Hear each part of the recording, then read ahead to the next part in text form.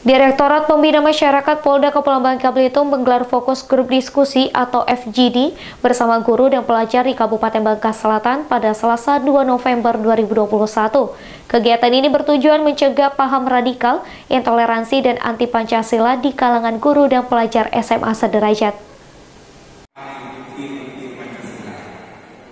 Sehingga tindakan dan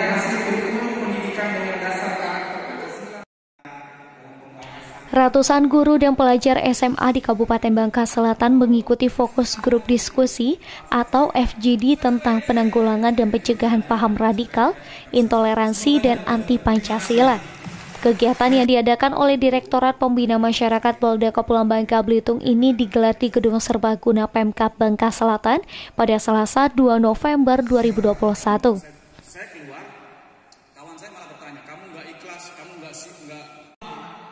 Direktur Binmas Polda Babel Kombes Pol Rudi Hermanto mengatakan, kegiatan tersebut merupakan upaya Polda Babel dan stakeholder terkait lainnya dalam mencegah generasi Bangka Selatan dari paham radikal, intoleransi, dan anti-Pancasila.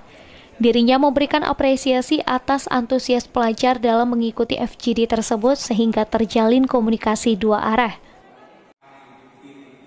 Dijelaskan oleh narasumber FGD Ken Setiawan bahwa paham radikal, intoleransi, dan anti-Pancasila bukan merupakan cerminan dari agama apa pun yang ada di Indonesia.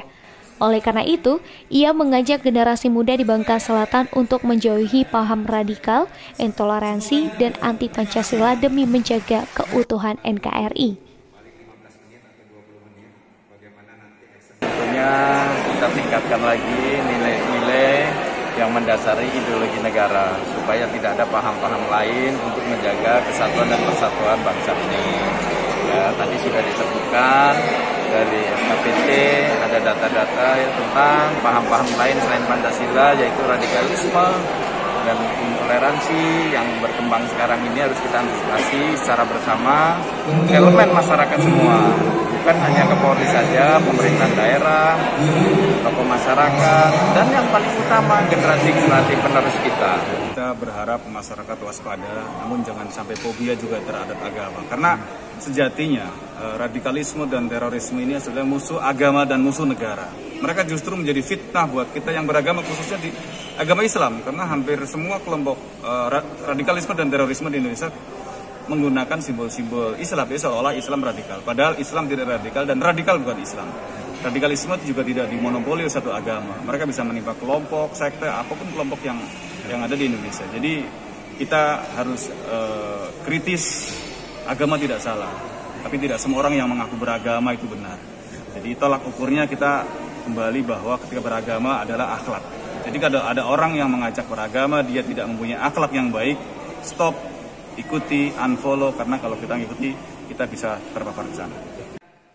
Sementara itu, Wakil Bupati Bangka Selatan Debi Vita Dewi memberikan apresiasi atas upaya penanggulangan dan pencegahan paham radikal, intoleransi dan anti Pancasila kepada guru dan pelajar di Bangka Selatan.